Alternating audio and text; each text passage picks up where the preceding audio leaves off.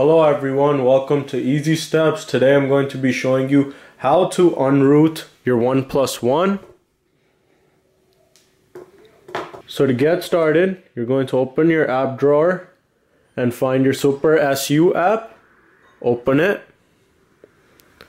And then Super SU, you're going to hit settings. Go down